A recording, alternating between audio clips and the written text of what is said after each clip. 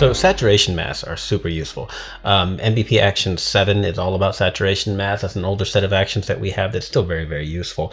Um, but this one takes it to another level by making more accurate hue selections uh, when it comes to the saturation. How do we do that? With a chroma luma split, which is what actions 12 is all about. So let's go ahead and run NBP chroma sat mask select. It'll let you know that, you know, you got to start from a either a flattened version of the image or, you know, stamped layer, background, whatever, hit continue. Now the end result is you have a selection. This selection is a saturation mask that was created from Chroma directly. No Luma information was used. So let's go ahead and choose like, um, oh, I don't know, Vibrance. Okay, and let's look at our mask. Hold down Option or Alt, we look at the mask. It does look like a saturation mask if you're used to seeing them. What's brighter is in fact, you know, more saturated and what's darker is not saturated. But if you look carefully, you see that it looks almost blurry, like where's my detail? And that's because Luma has not been involved in this. How do we prove that? Well, let's go ahead and do it directly.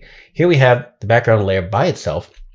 I'm going to duplicate it. And this time, since we just ran HSB HSL, which is how we create a saturation mask, we're going to go ahead and run that. And then we go to channels and we choose green. There's our mask. And then we'll choose our vibrance, turn off our HSBL. Okay, cool. Let's look at the different masks. Okay, let's let's take a look here for a second. This is the one created with the Luma data in it. This is the one created without the Luma data in it. They are significantly different. Okay. For example, if we look at the one that we made, the outfit is darker. In other words, doesn't have as much saturation because it doesn't have as much saturation. It's supposed to be a black outfit, right? But the one that we created without the Luma data extracted kind of confused Photoshop's saturation. It gave it a false positive that there's saturation here. There is color in there, but not so much that it got confused. Not so much that it will get confused when you extract it. So saturation masking, yeah, this is still useful, this mask itself, but not nearly as useful as this one created just from Chroma. So let's prove that, okay? So let's go ahead and turn this off and go to our this is the one we created, Vibrance. We're going to turn up the vibrance and saturation quite a bit just for demo purposes. Okay, so there it is with the normal sort of saturation mask creation. Okay, so it's saturating the saturated areas very strongly. We have a lot of color being added to the neutrals. Okay, so let's turn this one on. What was our settings? 50 and 35. We'll put these at 50 and 35. Now, off, on, off, on, and then the other one, on, off. It's going to be difficult to see on the video, I'll be honest with you, okay? But this one is far more accurate, leaving the neutral tones more alone, okay? We can really prove this by, we're going to leave these masks in place so we can copy them. We're going to go to a solid color and we're going to add um, white. Why not?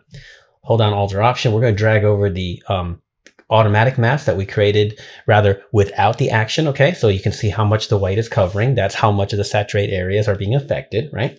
Duplicate that and we'll get rid of that mask, but we'll put in our good one. Okay, so now this is the mask, the saturation mask created just from the image as is. And this is the saturation mask created from just the chroma, smoother in every single way. So this is obviously a high chroma image, has a lot of different color ranges and all that. But if I were going to make a modification to the saturated areas or invert it for the opposite of that, I'd rather have this selection, which I feel is much more accurate than this one. Why is my black jacket have all this selection in it? I don't want that. I don't always want to boost saturation, right? Let's prove that. Let's say I want to add um, some, some, some, some, some, some contrast, okay? Brightness and contrast. So I'm going to change that to luminosity blending mode just so I don't have any too much color shifting. And I'm going to do like a 50 brightness. I mean, excuse me, contrast.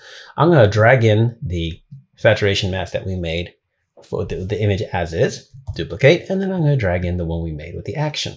So here's the original one. Okay, this is the, the original saturation mask and I boosted the contrast on it as you can see. And then here's the other one not affecting nearly as much of the deep shadows that I didn't want to affect. I want just the saturated areas. I don't want all these deep shadows. They're, they're not actually supposed to be that saturated. Okay. It's just getting a false positive with the chroma info.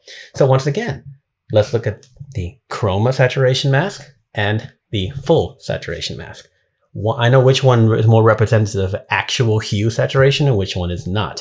And that's why this action exists. So if you want to take that extra step to run an action before you select your you know saturation masking, this is the perfect way to do it by splitting chroma and luma as is what action 12 does.